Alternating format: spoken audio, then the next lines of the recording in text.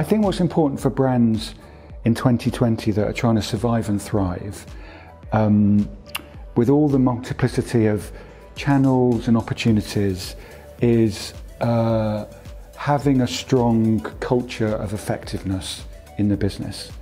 And um, that's something that we've been working hard on at eBay, which is um, uh, a combination of a few things, I think. One is the business and all the key stakeholders being crystal clear about what you're striving for and having a tight suite of KPIs and objectives that you're going after. And I think having a common vernacular about well, what do those targets and KPIs actually mean? So you sort of eradicate the um, opportunity for different interpretations of that across different bits of the business. So we have uh, two things in eBay that we're gold on. Uh, one is um, a profitable top line transactional volume. And the second thing is the health of our customer base.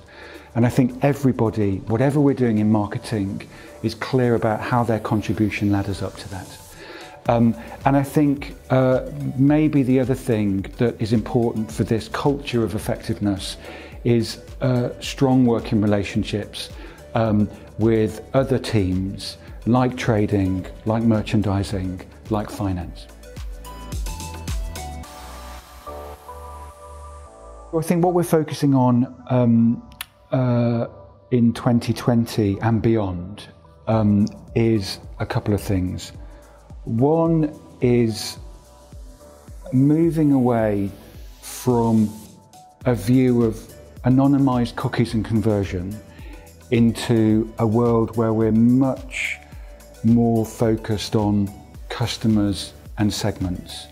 And that might sound like a trite observation, but actually, uh, for a business like ours, it's quite a significant pivot that uh, requires a whole different uh, technology infrastructure to deliver that.